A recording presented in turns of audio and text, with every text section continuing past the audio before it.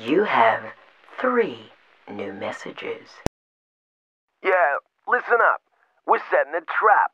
Now you one wise Caucasian, so maybe you figured out use the bait. Call me, man.